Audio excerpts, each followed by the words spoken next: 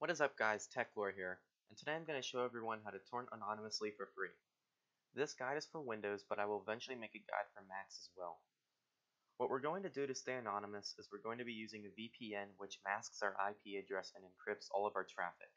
The very first thing you should do is click on this link in the description, which will take you to this page, and what you're going to do is you're going to click download SoftEther VPN client plus VPN gate client plugin. This download will take some time. Once the download is complete, open up File Explorer, go to Downloads, and drag the downloaded file to your desktop. Now you're going to right click on your desktop, put New and Folder, and you're going to name this folder VPN. Now you're going to go to your installed file, you're going to right click on it, move down to Open With, Windows Explorer.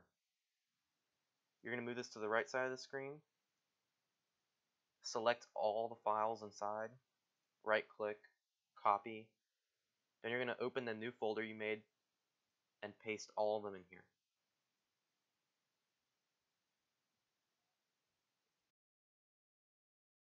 You can move this folder anywhere you'd like. I'm going to move it to Documents.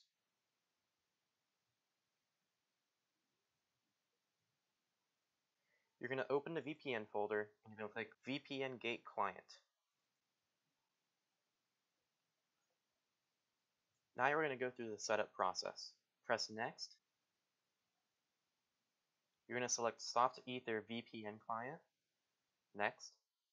Agree.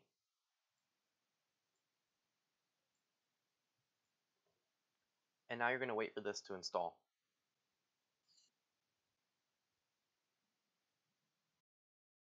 Click Finish, and if SoftEther does not open up automatically, go to your desktop and double click on SoftEther VPN. Once SoftEther VPN is opened, you're going to click VPN Gate Public VPN Relay Servers. Just ignore this, press OK. Now what you're going to do is you're going to look for the region that's closest to where you live.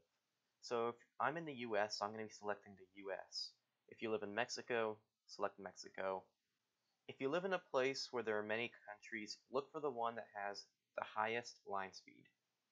So if you live in Korea, you're going to be picking 96 rather than 60. And I'm going to be picking the highest United States one. So pick whichever one you want to use and press connect to the VPN server and use TCP protocol. You're going to get this pop-up saying it's going to install a virtual network adapter. Give this some time.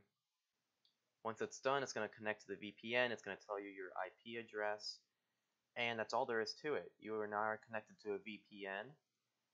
And you can successfully torrent using the VPN. As you can see, it's downloading. Thanks for watching, guys. Please like, subscribe, and share this video if it helped you out. Click here on the screen to see a video showing how to stop Windows 10 from tracking and spying on you. And please leave any questions in the comments below. I'll see everyone in my next video.